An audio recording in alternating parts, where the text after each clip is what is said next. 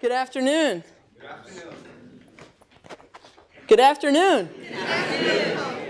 I'm, I'm going to count on uh, some call and response here.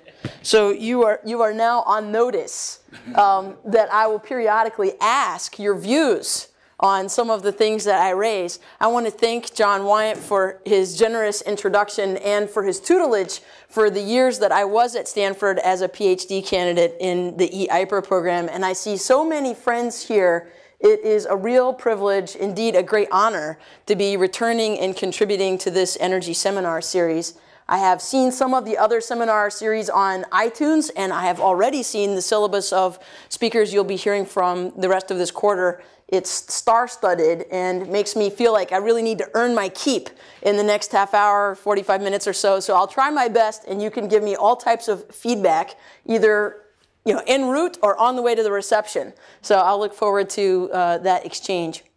Because John mentioned that the abstract for my remarks today may have seemed, I'm not sure, he said complicated. Let, let me give it another chance.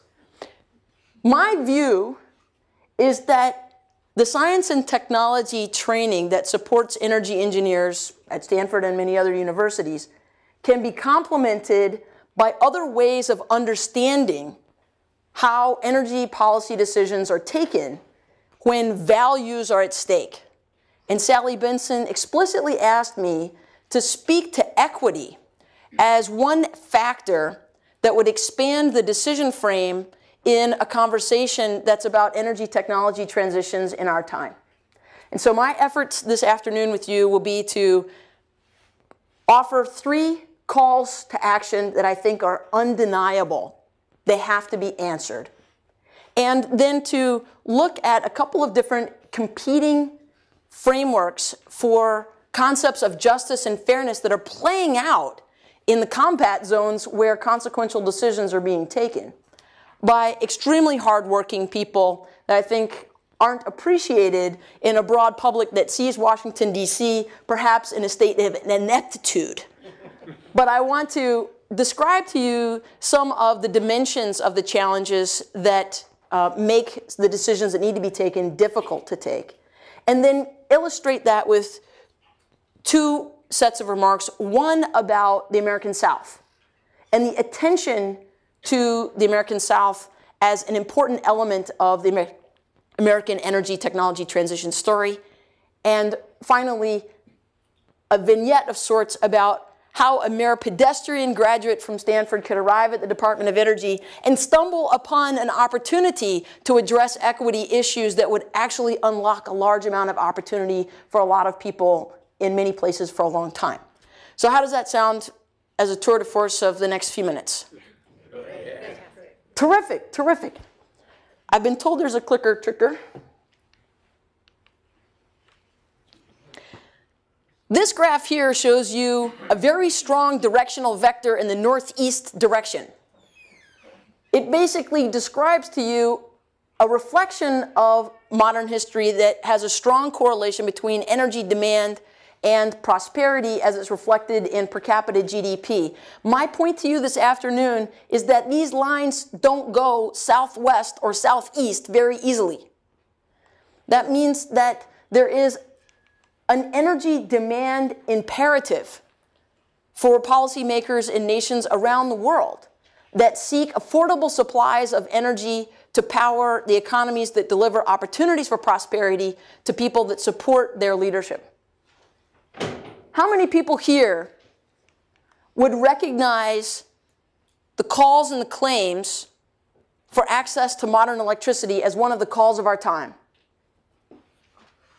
How many people here would, would imagine that they themselves might, in the course of their career, work on answering this kind of call? It's a good number of hands. So I myself, in 1998, was in South Africa responding to a very interesting moment in time when the African National Congress had come to power and there were large tracts of land that had been systematically denied access to electricity. And it turned out that renewable energy was the most cost effective way to serve the load in some of those areas. I learned a tremendous amount. I'm deeply humbled and thankful to the people that I met through that experience. And I'm also thankful that the work continues today in enterprises and initiatives like the one that Secretary Steven Chu joined the World Bank and the United Nations to launch called Sustainable Energy for All. So those of you who are still interested in answering this call to action now have a much more robust structure and platform for engagement. If you haven't heard of Sustainable Energy for All and you're looking for a way to plug in, this is uh, an already ready-made current of activity for you to join. No matter what, I think this is a persistent call to action. But it's not the only one in our energy space, so let me try another one. Who recognizes this guy? so George W. Bush was not the first person to try to communicate to the American people about what he called, quote, a serious problem. But he was probably the most succinct by describing to Americans a pattern of consumption that appeared very close to be, being an addiction. He told America in the 2006 State of the Union address America is addicted to oil, which is often imported from unstable parts of the world. He was not the first president to say something like that, and Jon Stewart mocked the commanders in chief who had successfully said something similar over a period of 20 years in a very irreverent monologue. What I want to point out is that another Stanford graduate, Jim Woolsey, uh, had in his career as CIA director been privy to more information than most. And as he toured the country after his period of service, he emphasized the need to reduce the strategic importance of oil. He wasn't, he wasn't calling for the elimination of oil from America's transportation fuel mix. He was saying reduce its strategic significance because there's so much tension on the supply chains for the American economy. Now, this is the supply chain of energy for the American economy. It's published every year by Lawrence Livermore Lab. And on the left-hand side, you see all of our primary energy resources and the flows that lead to the end-use sectors on the right-hand side. For our purposes today, I'm only interested in the transportation sector because of its alignment with our dependence on liquid fuels. And so let me blow that up for you. This little orange line here is four orders of magnitude smaller than the prevailing source of fuel for America's transportation sector. So this is an enormous opportunity for people who are looking at options and opportunities to add some flexibility to the system. How many people here think that they might be involved in research or work in policy or commerce that would be answering this as a call of our time? I got a good number, good number of hands. Good, a good number of hands. I myself, in 1995, left school and joined a solar car race team because I was convinced at the time that we had the technologies available off the shelf to make an aerodynamic, lightweight vehicle that ran on electricity powered by the sun at 60 miles an hour with little more than the energy needed for a toaster oven. And we actually, with this experimental vehicle, did demonstrate that that was true. But so did 40 other colleges, including Stanford University. And I'm so pleased that I had the opportunity then to meet some Stanford students who were on the Stanford Solar Car team in 1995 they are now hard-working executives at Tesla Motors, putting some of those technology lessons right to work in a way that is revolutionizing what we think of as possible in the 21st century transportation story. But there's something else on this diagram that I think can't be ignored, and it's all this underutilized energy on the right-hand side. And so I want to give credit to other Stanford alums and current students and faculty who have worked on the resource efficiency side of the transportation sector, looking in this case at the example of the hypercar where Michael Brylawski had worked for more than a decade on this concept car. And now this year we see it uh, in some of its attributes in the Volkswagen XL1. So both the efficiency and the electricity side give us some ideas about flexibility that we might have in relaxing the dependence on oil. That's a second call to action I think that we can't ignore in the 21st century. You will not be surprised by the third. So of course in the last 18 months we have received the Intergovernmental Panel on Climate Change's assessment of the science followed by a very extensive review by the United States government, the federal government's United States National Climate Assessment, and even this summer, a product that had all types of participation from Stanford and the Hoover Institute, Risky Business, looking at the impacts on the American economy of climate change, climate changes unabated. How many people here would recognize this as one of the calls of our time? Oh my goodness, by far the most popular. But imagine for a minute solving this problem and leaving the other two unaddressed. Can you imagine it? I'm seeing shaking heads. How many people believe that we might be able to take care of this problem and just ignore the other two? Yeah, and so there's an integrated problem solving imperative in the calls of our time, which I'm trying to draw to attention. When I was a graduate student in the interdisciplinary program on environment and resources, I had the good counsel of John Koomey and John Weyant, uh, the late Stephen Schneider, and others who helped me look at a massive amount of literature that had been produced by modelers exploring the question what technology portfolios in the energy sector might be able to support us on a path to climate stabilization. This is an example of that work that shows an incredibly aggressive arc down to zero and into this negative emission zone in the latter part of the century. But a very modest contribution from solar and wind. If I hadn't learned from the faculty here how to decompose these scenarios to understand the underlying assumptions and their implications, I wouldn't have known whether or not I wanted to accept the findings of this research or instead interrogate its assumptions. This is the work of scholarship at Stanford in looking at some of the policy analysis that may arrive at the doorstep of decision makers who are trying to chart a course towards a climate stable future. When I was one of those people, as the senior policy advisor in the Office of Policy and International Affairs at the Department of Energy, I received a briefing that was offered every two years to the senior leadership of every Department of Energy in every industrialized nation on Earth. And it was accompanying the release of the Energy Technologies Perspectives Report that is published by the International Energy Agency, which is essentially a wing of a national security uh, organization, OECD, organized in some ways in opposition to OPEC in order to contend with supply concerns for the global oil trade. This report in 2012 did not mince its words on a key finding. Energy related CO2 emissions need to be completely eliminated in order to limit greenhouse gas driven global warming to 2 degrees. The words completely eliminated by 2075 wasn't totally surprising to me because, of course, I had been looking at these models earlier. But it really gave a new sense of urgency to the decisions that we were taking within one infrastructure life cycle of that kind of time frame. Now, they did not add a red blur down here at the zero line, but I did because I think it's honest for audiences, particularly like this, to point out that there's a large amount of uncertainty that bounds such a number. But nevertheless, they weren't talking about something after 2100. The International Energy Agency was briefing the senior leadership of every energy department in every industrialized nation that get a move on it. So, how many people might have asked themselves, do you think we can do it? Do you think it's still possible? Oh, I see a lot of hands.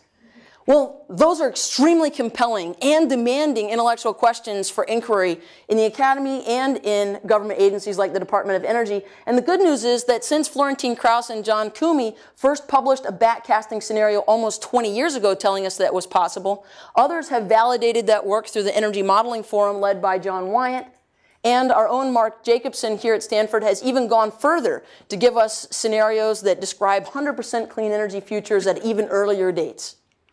But there's a number of different methodologies that one could apply to try to answer these questions. Sally Benson, who's not with us today, was the convening lead author for a part of the Global Energy Assessment, which really looked at emerging economies and the challenges and opportunities they face. And this summer, Stanford graduates who work with a successful consulting firm in San Francisco called E3 participated with Jeffrey Sachs, who's known for his work on energy development. Remember? Call to action number one. To let us know that they too found that deep decarbonization scenarios were indeed technically feasible, even if challenging. That could give us hope, but it doesn't give us very much time. So, what I have opened with are three calls of our time that I will summarize as the need for energy sufficiency, energy security, and sustainability. You may find your own language for them. But I haven't seen with the body language and waving hands in this audience that you're a group of people that's willing to dropkick any one of them. In which case, we have to find a way to take responsibility for responding to these calls in a, on a scale that matters and a time frame that makes a difference. And that was a strong theme for my remarks today. So having introduced three calls to action, I'd like to move to the grounds for policy engagement, the vignette about the American South, and about my experience in the Department of Energy looking for ways to address equity in ways that will unlock the opportunity for more investment and acceleration. One of the things that I appreciated about my experience at Stanford was the rigor with which microeconomics was offered to every level of study in my experience. And I learned that the United States would value clean energy technology solutions as long as we could buy it at a price that we could afford for its purposes. And we would buy it from whoever would produce it, having invested in its production to realize competitive returns, even if they were outside the United States. And those that would invest in the production of the solutions that we needed would only do so if they also had sound conditions for market development. Germany provided that to its producers, and they had first movers advantage for at least a decade. China moved in very strongly and gave some of their producers a lot of support, and it challenged us. When I arrived at the Department of Energy, I arrived with a set of linkages that help me understand that rules make market conditions worth investing in. And if you don't have the investments, then don't expect the technology deployment on the scale that you wanted to achieve the, the objective that you were aiming for. And if you run that in reverse, if you want a lot of clean energy and fast, you need to have investment conditions that are sustained by stable market conditions with rules that are compatible for that policy objective. Easier said than done. So, to humble ourselves a moment to the challenge, this is a picture of our past. The story of America's technology transitions in the energy sector dating back to the 1850s, where you see that not one of these major transitional events took less than five decades. And if you are a real enthusiast about renewable energy, how many people are real enthusiasts about clean energy? Look at that. All right, have you got your peering glasses on? This is you. right here, this little pink dot. Remember what I said earlier about 2075? It's about right there. That's breathtaking, friends. Breathtaking. So if we were to try to navigate the path for a 21st century energy technology transition with that level of speed and scale, you would expect investment in clean energy to be surging here in the opening decades. In the last couple of years, they've been trending in the opposite direction that we would need to see for the pace to pick up. Now, I joined the Department of Energy right here, as did everybody who joined the administration at the beginning of the first term. It was a dark period of the Great Recession, but the effects of the Recovery Act in particular helped us. Some of the policies were, were able to inspire a large amount of investment. In the aftermath, we weren't able to sustain those conditions for the largest amount of asset investment, and we also had other shifting structural changes in the market, including low-cost natural gas. What I want to point out is that there is a widely shared view that there's a role for public investments in innovation that help us drive down the cost and therefore increase the competitiveness of clean energy solutions relative to the incumbents, which in the long run can help us speed up the deployment again. So one of my favorite memos published by the Department of Energy was last year, posted on the White House website, called Revolution Now. And uh, it's, a, it's a, a memo that covers four clean energy technologies and shows how over time the successive achievements in cost reduction led ultimately to a tipping point that allowed the industry to take off with the level of private sector investment that you always hoped you would see. For those of you in the back, on the right-hand side, that's solar PV. Bottom left is LED lights, and bottom right is batteries for electric vehicles and mobile storage. Utilitarianism allows us to imagine that we're making public investments that serve the greatest good. Utilitarianism also masks the persistent claims for distributive justice, where there are parties who compete against each other for what they perceive to be a limited amount of available support from public spending. I'm going to leave research and development, where I think I've just argued there's a, a widespread understanding that there are benefits to investments in innovation, and we've seen the results of that over time.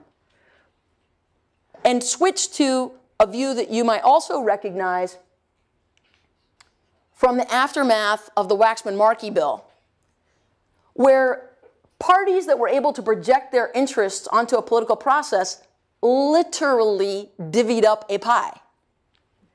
And Congress was unable to come to terms with a bargain that they could accept. And as a result, we didn't get a comprehensive energy and climate policy in the first congressional term of the first term of the administration.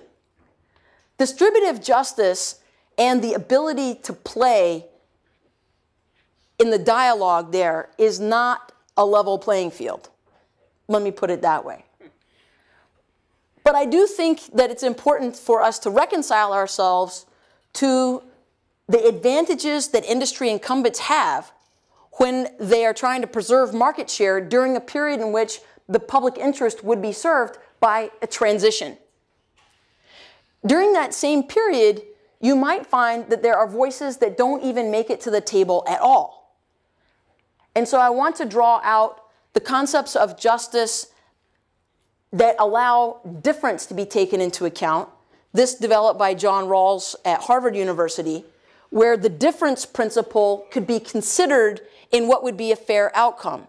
And the reason why I raise this is that the unequal distributions of benefits and burdens can actually mask the experience of people who aren't really able to be heard at the table and aren't taken into account when the rest of the negotiation occurs. We see this most consistently in the realm of environmental justice. How many people here have studied or worked on environmental justice issues? I see a good number. Well, then you may have already been familiar with this 20-year-old executive order that acknowledged at the time and was reaffirmed under the Obama administration as significant that it is possible for us to consistently burden certain groups of people who are vulnerable in a political process in which they don't share the advantages of other competing interests. In 2010, as the Stimulus Act was being implemented, a fairly substantial group of environmental justice activists got together and wrote essentially an open letter, the Environmental Justice and Green Economy Report. I'm raising it here with you just so that you can catch some snippets of the voice that they were offering to the dialogue. Environmental justice approaches to climate change policies are often predicated on these beliefs, they said. If we are to avert calamitous climate change, we cannot continue business as usual. This is a very strong and assertive voice that goes on to link the great transition towards sustainability to the integrity of our democracy and fundamentally link sustainability, justice, and equity. They weren't just offering a challenge to people who were trying to steward resources during the stimulus, they were actually offering good guidance. that equitable sharing of this new green wealth must be a part of any definition of sustainability, or we might not arrive at that objective. And they position themselves as members of the front line, canaries in the coal mine, they call themselves, coming from fence line neighborhoods. We, the environmental justice communities, have valuable experience fighting unfair burdens and shaping sustainable and just alternatives. I've quoted their voice here because I'll need to call on it again in a few minutes. But I hope that I've, in this segment, been able to offer a few different competing concepts of justice that present themselves in the dilemmas that policymakers face when trying to figure out how to answer the calls of our time. How many people here might have watched parts of the People's Climate March in New York City a couple weeks ago? I don't know if any of you made the, made the trip. It's a long trip to make for that kind of event. But it's no mistake that the entire march of 400,000 people was led off by a group that was representing the front lines of crisis and the forefront of change. This constituent base here was, frankly, my friends, not present during the Waxman Markey bill negotiation. We didn't see a galvanized political force that we saw in the streets of New York City now four years later. I think this is a very interesting development and draws climate justice into the dialogue about climate action, explicitly bringing fairness into the context of decision making for policymakers going forward. And even here in California, the distribution of carbon revenues with SB 535, you have an explicit conversation about the allocation of resources to disadvantaged communities in order to make sure that fairness is addressed as part of the solution. Now, I was in New York City, and there weren't that many people from the South in attendance. I'm from the South. My family's lived in North Carolina for 250 years. And one thing that I regretted when I was in Washington, D.C., in my post at the Department of Energy, and even when I was bearing witness to the climate march in New York City, was that the experience in the American South, I think, is not well understood as an important ingredient in understanding American energy climate politics and the technology transition or the challenges it faces. So I want to spend the next couple of minutes just talking about the American South. First of all, this is a data set that is not likely to change. In other words, it's a robust recording of the frequency with which southern states are hit with billion dollar damages. 30 years of data is not likely to swing around and change and suddenly hit Washington state with a bunch of hurricanes and floods and droughts, right? So this is a picture that would perhaps suggest that southern states would be more motivated than almost anybody else to do something about climate impacts affecting the region. But this is acute pain. This is a picture that describes acute pain and not chronic pain. Let me show you now another map that has a stronger explanatory uh, power for where the South is on energy and climate change. This is a picture that shows the share of household income consumed by electricity where the top 10 states ranked by this metric are all below the Mason Dixon line. This is chronic pain, not acute pain. And the difference in the metric between Mississippi and Alabama, which are tied for first for the states in the continental United States, let me acknowledge Hawaii out here has even uh, a higher metric. Uh, this is Colorado. The national narrative that there are wealthy, affluent people in a faraway mountainous region that want you to go solar at an expense you can't afford is a very compelling way to destroy the confidence of people who might be organized to support a clean energy transition. And the equity claims haven't really been addressed. So I want to show you a few more maps that help bring that into focus. This is a picture of poverty mapped by county in the United States. It lets you know that the metric I showed you before, which is a ratio of household income and electricity costs, is not emphasizing the region in the South because electricity costs are high. The retail rates there are not that high. It's that the incomes are distressed. And that heat wave in the Southeast hasn't broken in 100 years. This is a picture that shows you the sustained effects of that enduring experience of poverty. The chances that a child born to parents in the bottom 25th percentile will be able to leave it. It's not an equal opportunity experience to be born into that bottom 25th percentile. So it's important for me to bring into this conversation the reality of American demography that helps us think about equity in our time. This is a picture of the residency patterns of African Americans in the United States. Many people outside of the South wouldn't recognize this map if I just handed you a map and asked you with a crayon to shade in. I even heard some hmms in the back just now. It is significant then when you see civil rights organizations like the NAACP move forward to enter the energy and climate change policy discussion with 50 different state-based reports ahead of a national dialogue about a proposed clean power plan, for example. Positioning themselves to support renewable portfolio standards, energy efficiency resource standards, net metering, and also two other policies that you might not have right at the top of your toolkit, but are important to them. Local hiring policies and minority-owned business policies. I think it is significant to think about how a national conversation on energy and climate policy takes into account the experience of the American South and people in struggle there who are seeking to participate in a clean energy economy that unlocks opportunity and doesn't impose undue cumulative burdens where struggle and strife have persisted for so long. Now, I hope that in our time today, we can dialogue about your views on these maps about the American South.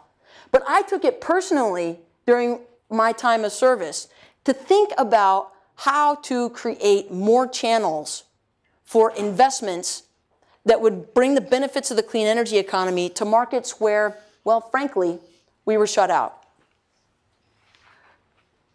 So my last segment of remarks is about that experience. I'm going to bring you back to the original map from the South that shows the average utility bill and the median income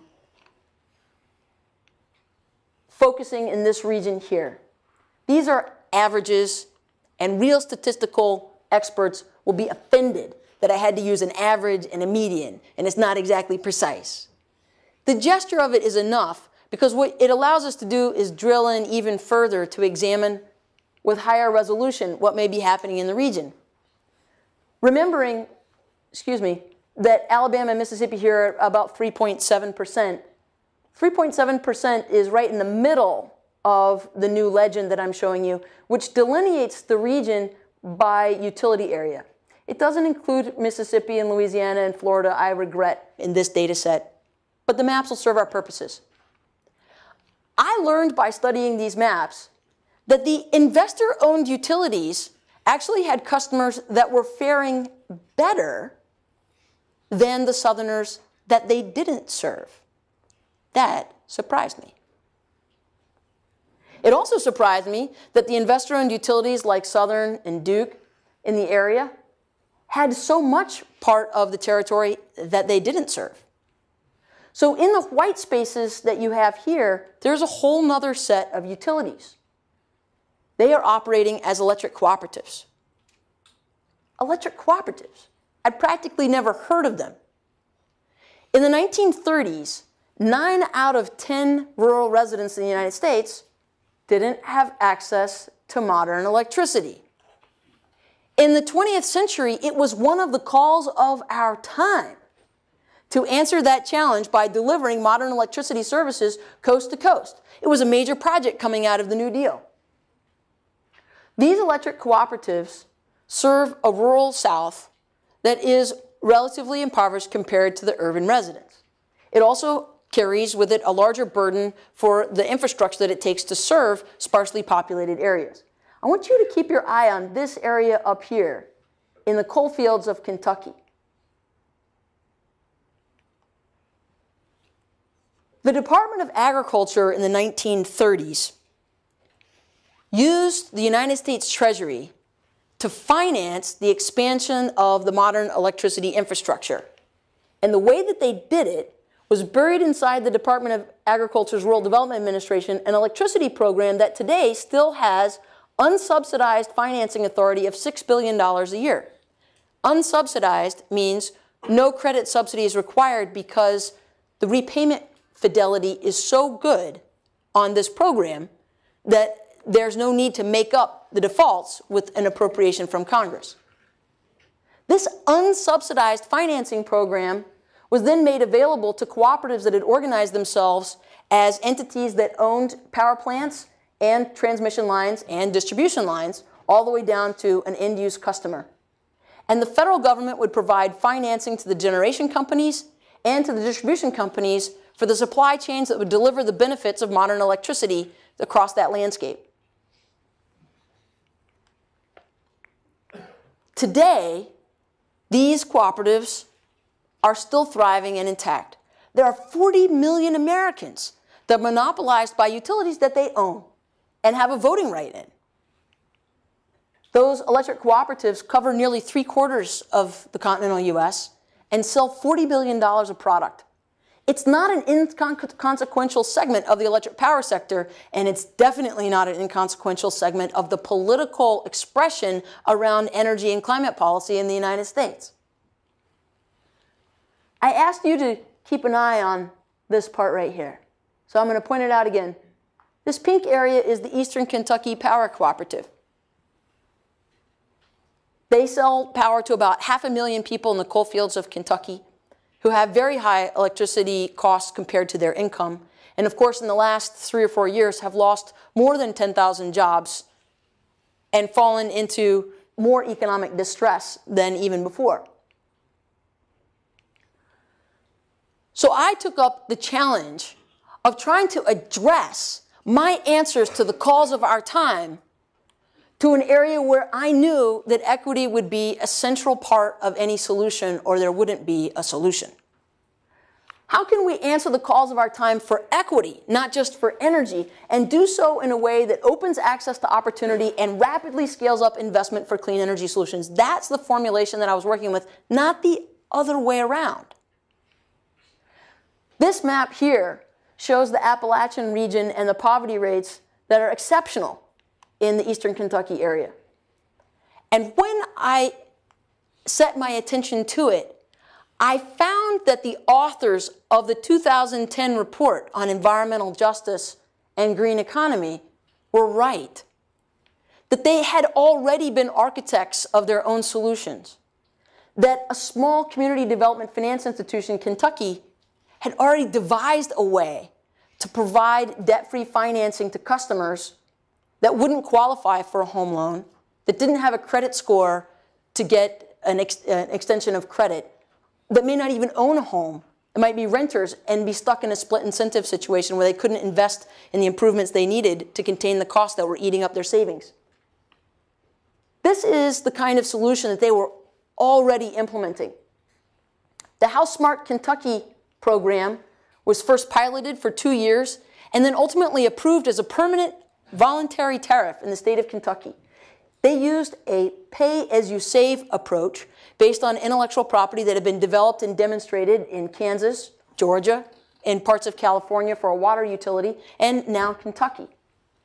The architects of pay as you save understood that there were reliably cost effective savings available in economically distressed landscapes where the quality of the housing stock had deteriorated to the extent that you could find very lucrative upgrades, but still no capital to finance them.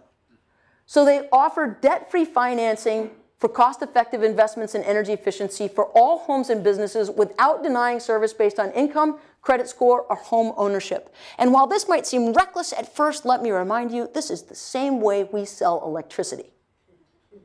We don't deny electricity service to people on these grounds, but consumer protection laws actually do prevent us from extending unsecured consumer credit to people on those grounds. And so tying the utilities credit worthiness and their tariff authority to voluntary investment interests of homeowners and businesses allowed us to imagine how a voluntary tariff that assigned cost recovery obligations only to those people who benefited from the investment would be consistent with a libertarian frame of justice that's well accepted in the landscapes you're trying to address. The demonstrated average energy savings for their program was 25%. With cash flow positive results from the start, the only problem was they had less than $5 million for the whole region, for half a million customers they could potentially serve. So I set to work looking for energy finance instruments that we might be able to use to connect the juggernaut of the federal government and its own interest in the electric cooperatives and the people who own them to this kind of innovation. This is what I found. Remember this diagram? Do you remember this diagram? Yes. Watch down at the bottom of the line by the meters. No go. I got involved in a process in 2010 and 11 that I came to understand as a federal policy systematically denying financing for solutions on the demand side of the meter. We were willing to finance everything in the supply chain for electric cooperatives except energy efficiency, rooftop solar, small scale wind, geothermal, combined heat and power. No, no, no, no, no. That gave me an opportunity to think about leveling the playing field for technology and business innovators that were basically locked out of a very large market over a very large landscape to actually bring the benefits of the clean energy economy to places, literally geographic territories that weren't able to benefit. We did that with a program called the Energy Efficiency and Conservation Loan Program that went into effect with a final rule that started in February of this year. We're barely six months into this chapter of American history, where it is now legal for the same federal government that built the grid the first time to come back around with the very same financial instruments that gave us that line to prosperity and allow capital to flow all the way through to the homeowners and businesses that want to participate. What can you actually finance with this program? Anything that improves the energy performance of a business or home that's connected to a nonprofit utility serving a rural area. How much can we finance in a year from this authority? Well, as I told you before, it's actually expanding the scope of application of an existing policy that is authorized at approximately $6 billion a year with no subsidy required. This is the landscape that we were able to address with one policy that made the difference between yes, you can and no, you can't.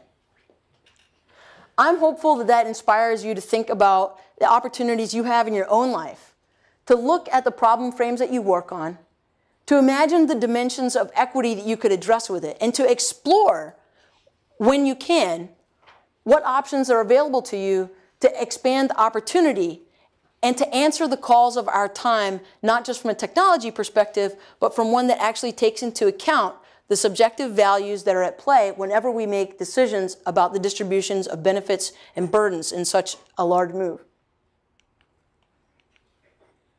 This closing slide recaps some of the places that we have visited. And we're right on time for the kind of discussion I've been looking forward to all day. I hope that I have dared to be provocative enough for you to engage me now. So I'll look forward to your questions, but before I give up the mic to John Weyant, who I think is moderating, I want to thank Stanford again for allowing me to be a risk taker as an intellectual, an explorer in an interdisciplinary program, and a person who could come back after a real world experience and share some of the humbling and hard lessons learned. Thank you very much. Thank you. take a few students first, if that's okay? Sure, I'm sure sure. Well, thanks, Holmes, for an extremely inspiring and provocative disabilities uh, talk. As there's our normal, well, first of all, I've been asked to remind people there's a map, uh, remember a map? Social right outside for about an hour, starting at 5:15. Um, Next, uh, we usually uh, give preference to students in this seminar, so do we have any student questions, comments, suggestions? You're already inspired. Students, please, please. I did my best. Okay, let's, uh, there's one. Um, Thank you for a wonderful talk. I was wondering, so you talked about the um, energy landscape in the US.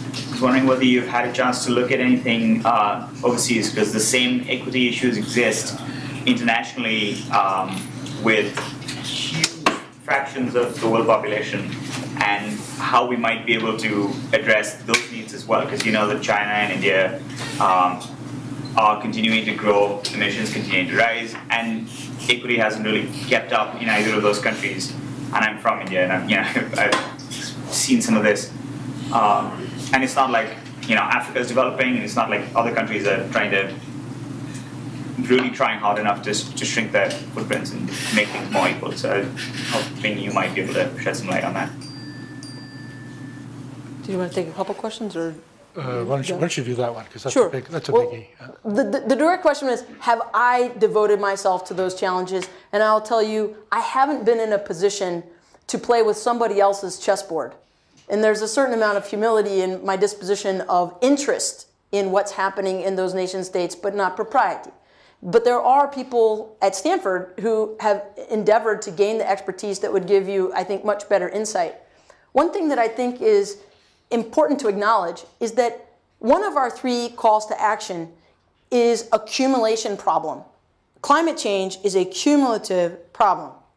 And so the United States, with its cumulative experience in burning fossil fuels, has an outsized responsibility to act on its, its own investments and its own existing infrastructure. If I could put it more bluntly, I have a lot of work to do here before I get interested in somebody else's situation. I want to acknowledge that Paul Baer uh, here has worked on a rubric for greenhouse development rights that actually qualifies and quantifies the fair attribution or allocation of atmospheric space, so to speak, in equity terms. And the findings of that analysis are arresting. And it convinced me years ago that my best efforts would be spent here, but that's not because I wasn't interested in what people were doing there. Wait, we had one up here in the middle, yellow shirt. Yeah, uh, thanks for the great talk. Um, I guess what were the most effective investments in the Kentucky pilot program in terms of technologies? In reducing energy uh, usage. Well, a, a few of them are not very sophisticated technologies, like sealing up cracks in windows, ceilings, doors, and roofs. But the advancements in heat, cold, cold temperature heat pumps in the last five years and the costs associated with them are probably the most impressive thing to me. The, the heat pump technologies allow us to think about electricity based heating and cooling in ways that wouldn't have penciled out the same way years before. Back over here. Hi, thank you again for a great presentation. At the beginning, you mentioned uh, how in South Africa the sustainable energies were some of the most cost effective. And I'm wondering what exactly those sustainable energies were. because of the distances between the territories that had been, as a matter of policy, systematically denied access to electricity and the nearest line to service them, because of those distances, distributed photovoltaics, even at prices much higher than today, were the most cost competitive and effective way for delivering modest services. It wasn't enough to actually run dishwashers and you know dryers, right? And so we actually did run into a tide of disparagement among people who considered our solutions to be second-class electricity, and we're not second-class people. And that's another really strong equity theme in the experience of providing modest uh, distributed generation solutions to territories that know that grid electricity might provide them a higher level of service. I think that's one of the fundamental challenges of using that technology suite. Any more student questions? Sure. Uh, thanks for the presentation. Fantastic. One quick question. How do you convince, how do you approach these people that are often uh, not looking very forward and like parties of the future are not probably very educated that they should take these energy efficiencies uh, projects per se? My experience is that people have a tremendous amount of expertise in their own life experience. And that itself is a kind of education that I can't buy. And so, actually, having faith that people are serving their own best interests is important but understanding that they may express very high discount rates, if I can draw that term into our conversation, where a dollar today is worth so much more to them than a dollar tomorrow that they just can't imagine putting up their own capital in a scarce amount of savings to you know, be at risk for an investment that may or may not serve them well. That is exactly why the team in Kentucky that used the balance sheet of the utility to finance the upgrades to the houses were so much more successful than going door to door with unsecured consumer credit and trying to convince people that it was in their interest. They actually understood that it was reliable savings enough for them to finance themselves and to use the tariff based authority of the utility that wouldn't require them to actually persuade anybody to take on a debt. That was the big breakthrough. Right now, let's open it up. Any general questions? Uh, John Massey, two, three, four. Let's just go around that this way. John, you're. Yeah, so, quick question, having grown up on a farm, um, and, you know, knowing history of rural electrification and everything, what's the, uh, the balance in these uh, rural co-ops between distribution of electricity they get from somewhere else versus their own local generation? I mean, what's their, what's the investment profile in these places? That's a great question. There are about uh, 800 electric cooperatives that are only distribution cooperatives and about 60 that own power plants. Okay. And I don't actually know the, the exact fraction, but it's, it's, it's more than two thirds of the demand for the entire enterprise is served by the 60 cooperatives that do own power or procure power for those distribution companies. Sir, over here. Why are there so few electrical cooperatives in California? You? Yeah, that's an interesting story about the, the, where California was in the 1930s with its own economic development patterns that were highly correlated with the corporate patrons that were investing in the industries of the time, including the trains and the mining, uh, both of which were energy intensive and produced infrastructure that I think had been developed and used for purposes that didn't require collective ownership. Remember, the people who formed cooperatives really had no other option for accessing capital. And that's my best explanation for how California managed to finance its own development without using that tact. But I'm, I'm not a scholar on that, but that's what I think. Let's go here and then back there. So any estimate on how many terawatt hours are involved in this? Out of the 4,000 terawatt hours that the US generates in electricity only each year, what fraction are we affecting? Are you talking about the electric cooperatives? Yes. Well, you know, I think the ratio, uh, the fraction, I believe, is in the 15% range. Uh, it's, it's 15% or less. It's not much more than 15%. But I want to point out that the solution that the federal government is demonstrating with this policy innovation that is accompanied by a business innovation and an on the ground implementation innovation is transferable to every investor owned utility in the United States that has plenty of access to low cost capital through the private sector bond markets. So it's not an isolated solution, it's actually a leadership position that we're demonstrating. Ma'am, uh, actually, the, the one right in front, there's two of you back there. Oh, no, this one. Go ahead. So my understanding of rural electric co-ops is that many of them have long-term power purchase agreements for coal and gas. So what does it take for a utility to actually take advantage of this financing and what's the incentive to the utility? Let me turn that uh, around to point out that the cooperatives are actually owned by their members. And so the question is do the members have an interest in access to low cost financing that helps them diminish their energy costs by as much as 25% with cash flow positive savings from the beginning? And if the answer to that is yes, then you have to start thinking about the value of stranded PPAs for power plants that may be burning things, you know, that have escalating costs in the future if environmental protections, you know, come into force. But I think right now what we're looking at is essentially a conversation about our opportunity to deliver the benefits of the clean energy economy to the members of cooperatives that have previously been frankly locked out. And the cooperatives that own and want to sell generation have plenty of market to serve. There's no reason for them to continue to participate in a lockout. Okay, sir, right next. Correct. I understand that cooperatives typically serve people who have no other energy option, but do you happen to have any data on what the average cooperative customer pays for energy monthly, say, relative to a non-cooperative customer? That's a good question. Um, the figures are not tremendously distinct. Let me put it that way. What you saw earlier in the elevated fractions, I was expressing everything as a ratio relative to income, is really an indication more of the distribution of income in the United States than the distribution of energy consumption or costs, because the cooperatives, by and large, are not selling power that is exorbitantly priced. Uh, let's do two more, three more. Uh, one here, Fran, and then the fellow in the back.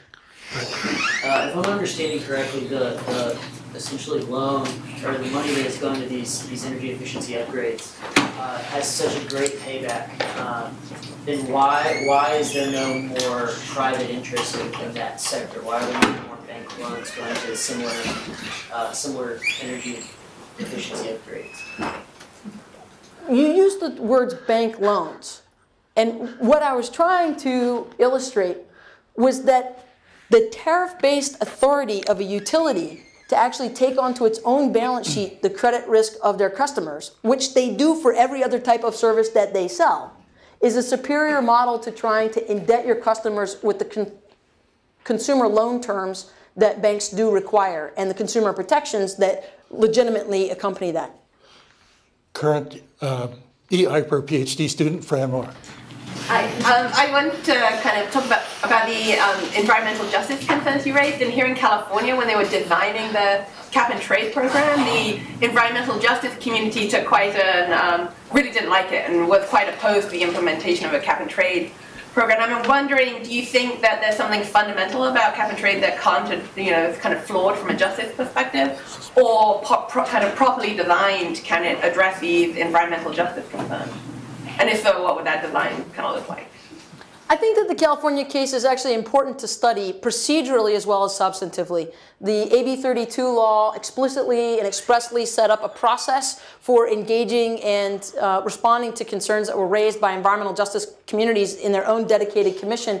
Yet the people who participated in that process felt frustrated at different times about their sense of process or, or due process and ultimately went to court over it, which was a stir and a distraction that didn't dislodge the policy, but it did gain them some negotiating you know, leverage at the table and ultimately re resulted in the passage of SB 535, which guaranteed that a certain fraction of the revenues raised from the cap and trade system would be devoted to disadvantaged communities. And I think, frankly, that's a pretty good model for addressing the equity concerns that may be being raised by people in other states across the United States during the deliberations about how the Clean Power Plan as proposed by the EPA may be implemented on a state-by-state -state basis. Last question before party time, way in the back. I'm glad you mentioned Kentucky uh, in this example because depending on how the midterm elections go, the next speaker or the next Senate Majority Leader could hail from that state. Um, and I mention that not just out of political coincidence, but because uh, climate change is often a political issue, as are issues of equity. And for some, that's actually a non-starter.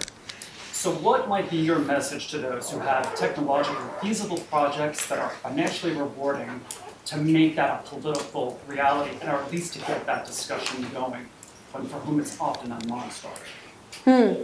I want to just make sure I've understood the, the nature of the question, but because we're short on time, I might check you at the reception and offer an answer for what I thought I understood. The, one, no, one minute. The, the, the United States Senate is, in my view, not likely to be able to muster votes to overcome a presidential veto that would derail the president's climate action plan. I think the president is committed to executive action to address the calls of our time. And he has given the Department of Energy, the EPA, and the other cabinet agencies a lot of flexibility to find every instrument we can to be responsive and to show up to history. I think the election and the results will be reflective of America's understanding of that, but maybe not having climate change as a deciding factor for the votes in Kentucky. But my view is that the president and the administration are answering the calls of our time, and the president will defend our actions uh, no matter who ends up in control of the United States Senate. With that, I want to say thank you for all of you. One more. 'cause- 'cause I- Oh. I I missed it. It was my fault. I Sure. didn't see it right away. Sure. Last question, I promise. I, I think the, uh, ability of the utilities to use, uh, tariff-based financing for a lot of these, uh, upgrades is a great thing. So thank you for bringing that up. My question is, is there a risk of what happened in Detroit when the water got shut off for people who couldn't pay for it? Oh, that's a, a good question. Collections for energy efficiency cost recovery are implemented on the same terms as every other product that the utility sells. The good news is that the energy efficiency investments actually result in a net reduction in the customer's bills from the very beginning, making it more likely that they will be able to pay their bills instead of less likely. As a result, the family that participates in the program gets a more comfortable, more affordable, and possibly more valuable home, and their delinquency and default rates are not at risk of rising. Great. Okay, thanks once again. Thank you very, very much, Ben. I've enjoyed being here.